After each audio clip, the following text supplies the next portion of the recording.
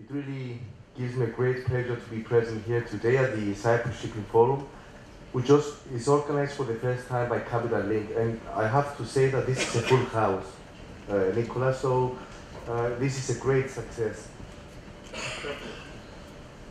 The fact that Capital Link, one of the leading financial advisory and communication firms with an unparalleled reputation worldwide, has decided to add Cyprus to its list of shipping events means a lot for us in Cyprus and especially the shipping community. Bearing in mind that the shipping forums that they organize, they take place in the largest maritime centers around the world, proves that Cyprus is recognized as one of the leading maritime centers in the world, something that makes us really proud. And of course, me personally, as the uh, minister responsible for the merchant shipping.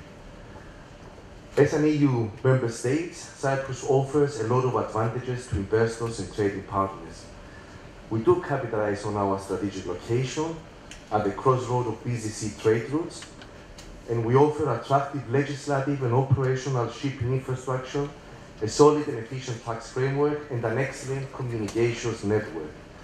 All these have made our island as one of the most progressive and efficient business locations in Europe. And I do agree with George that during the last few years we have witnessed a lot of progress uh, in the shipping infrastructure, seeing a lot of new companies being added basically to the maritime cluster. So the maritime sector has historically been one of Cyprus' most successful industries, with continuous growth in the last three decades. Cyprus is not new in shipping despite the crisis that uh, the shipping industry has been facing over the last few years. Nowadays, Cyprus is firmly established as a reputable international maritime center, combining both a sovereign flag and a resident shipping industry, which is renowned for its high quality services and standards of safety. In Cyprus, we have a remarkable maritime cluster, which of course revolves mainly around ship management, but lately more and more around ship ownership as well. And it's indicative that uh, ship management companies that operate in Cyprus, they offer services uh, to about 20% of the world's third-party managed fleets, or around 5%, almost 5% of uh, the total world fleet. And I think this is a great success, and it should make uh, all of us proud in this room. In addition, uh, we have a lot of companies with shipping-related activities and services, ranging from marine insurance, ship chartering, ship brokerage, financial services, equipment supplies, telecommunications, port services, transshipment operations, ship bunkering, ship agency, ship chandlers. This is a very big list, actually.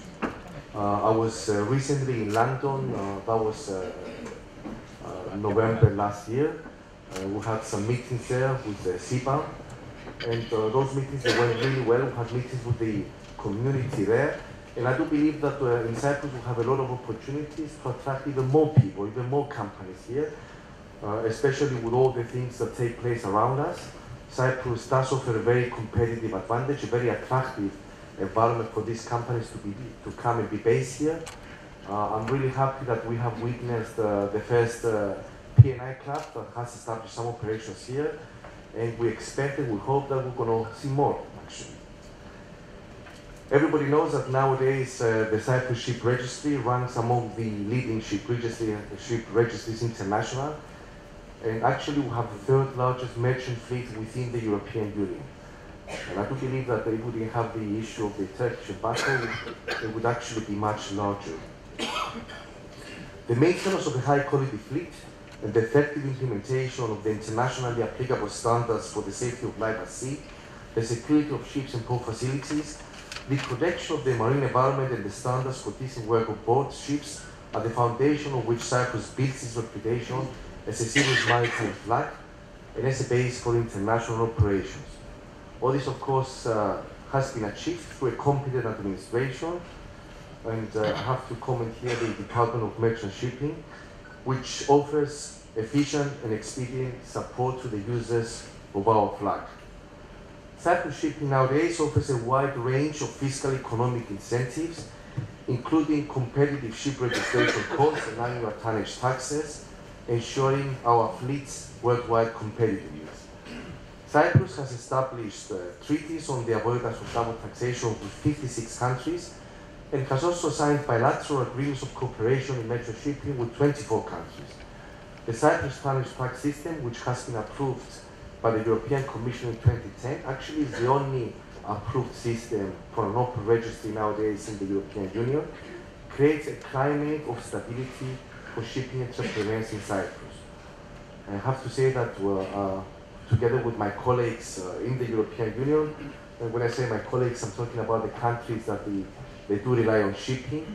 We do uh, make a lot of effort to maintain the competitiveness of the European uh, Union flag. Uh, we have been uh, putting a lot of pressure on the commissioners, uh, both DG Competition and DG, Move, and DG Mare as well regarding environmental issues. And I want to assure everybody in this room that on our behalf, Cyprus will do its best to maintain the competitiveness of the European Union flag because nowadays shipping is a really important industry in the EU and it has to uh, continue not only to be an important industry but even strengthen within the European Union. And uh, our effort is to make the people back in Brussels to realize this and realize that uh, basically they need to maintain this competitiveness. Besides being a successful shipping center, of course Cyprus fulfills the criteria to become a trade hub in the region due to our strategic location. I have to say that uh, this is something we often mention, our strategic location, especially for uh, the use of our infrastructure. And I have to say that uh, during the last four years, uh, our government has made a lot of efforts to utilize the strategic location of Cyprus and to attract additional investment in Cyprus. And uh, as the minister responsible uh, for transport, I see that in, in, a lot of the activities of my ministry, uh, not only in the shipping industry, of course, I see it in the aviation industry, which has seen an unprecedented growth during the last, uh, I would say, the last years, uh, with the opening of additional uh, aviation companies, the use of our infrastructure for MRO activities, for maintenance of aviation. lately, we have concluded the commercialization of the Limassol port, and we have attracted uh, very big names uh, from the port management industry. And despite uh, some of the teething problems we face, I'm, I'm confident, I'm convinced, and I have no doubt that it will, it will prove to be extremely uh, successful. We're actually now proceeding with the commercialization of the Larnaca port as well, with a different, of course, emphasis, together with the marina and uh, hopefully this will be completed by the end or before the end of this year. And this shows the way for Cyprus because we need, we need to modernize the use of our port infrastructure, and this is the way forward. So we do believe that Cyprus is a natural transshipment center for the Europe-Far East trade. Uh, the various shipping markets situated along the coast of the Levant, North Adriatic and Black Sea can easily be accessed from Cyprus with minimal diversion from the main arterial routes. Equally, Cyprus is a hub for other mainline deep sea trades going through the Mediterranean, as well as other interregional maritime uh, traffic. Another area which is quite important for Cyprus, and, and of course the geopolitical situation is changing fast, uh, is regarding the oil and gas. Uh, we have had the recent discovery of hydrocarbons, not only of course in Cyprus, but also in Egypt. Uh, we had uh, recently uh, the third round of licensing in Cyprus. Um, Lebanon has recently announced that they will also proceed with a round of licensing. And I do believe that uh, this offers a lot of opportunities for Cyprus, and we have the uh, potential to develop into an important energy center in the Mediterranean. Already, you know that uh, we had companies like Vitol, that they created a, a really big jetty which offers services in the area of Vasiliko. Uh, we have recently um, almost concluded negotiations for the acquisition of some additional land in Vasiliko. We have plans uh, and, and, we have filed an application to get some EU funding as well for building additional infrastructure uh, at the Vasiliko port, which is the industrial port of Cyprus. We even have plans for building a, a new port there to be used in the industrial area uh, at Vasiliko because we do see a lot of opportunities and of course all these things they take some time but we have put the foundations under this government to proceed with all these things. Uh, I do hope that for example the additional infrastructure will be ready by 2020 and I also hope that uh, by 2025 the latest we will also have a, a whole new port there.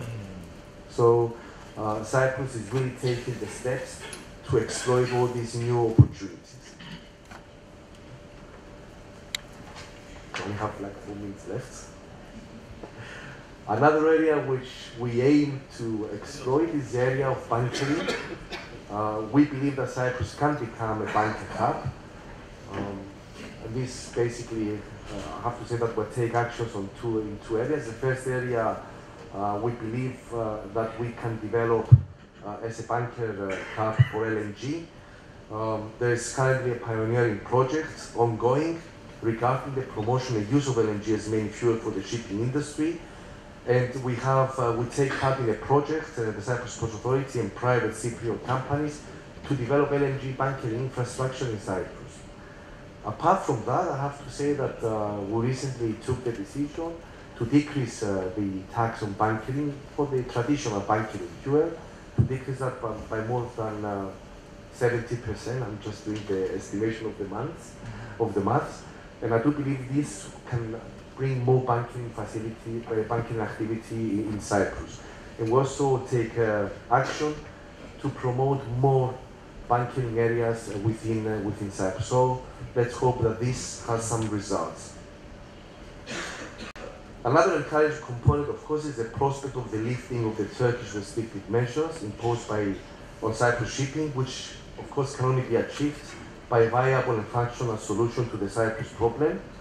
I'm sure everybody here is aware of the really uh, large effort that our president is making to resolve the Cyprus uh, issue our president is really committed to finding a viable solution. And I think there's no doubt that uh, the government and, the president, uh, of course, personally, he's leading the effort. We're taking, we're making every effort to resolve this issue the earliest possible. We do believe that uh, if this takes place, of course, there would be even more prospects both for the shipping industry but also the port industry in Cyprus. Ladies and gentlemen, the sustainable growth of Cyprus as a maritime logistics and energy center is one of the priorities of our government. Uh, sorry, I forgot to mention that uh, we, the government has also taken some horizontal measures like the introduction of the domicile and non-domicile, and this uh, is, has already started to bear some fruit. So uh, I'm looking at the friends, everybody cooperated to introduce these measures. This is a priority of our government and of course, it's a priority of the whole government, of the Ministry of Transport, which it is the ministry responsible uh, for the merchant shipping. The Ministry of uh, Finance, basically, which are, they are our very close uh, associates in promoting Cyprus shipping. And I want to assure you that uh, we will take uh, not only the measures that we have announced, but we will take all the measures needed to promote even more the competitiveness of our flag and our maritime cluster. In concluding, I would like to congratulate once more Capital Link and thank them actually, uh, Nicholas personally, for organizing this event. I have to say that I'm really proud that we attract uh, the caliber of uh, these speakers we have today. I had a look at the agenda, of course. Unfortunately, I have to leave after my speech. It's a very busy job being a minister, but I have to say that I'm really proud that we organize this kind of events in Cyprus um, with this sort of attendance. We have to, all of us, we have to be proud about our shipping sector. All of us need to be proud about the maritime uh, cluster in Cyprus and the maritime sector in general. And all of us need to do our best to promote it even more. Thank you very much.